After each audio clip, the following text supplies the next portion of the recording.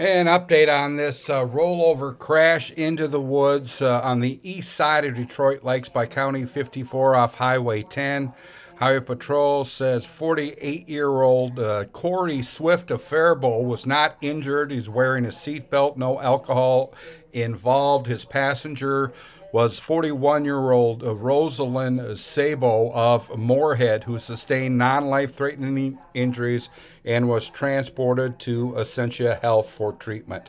Uh, both were wearing seat belts at the time of the crash.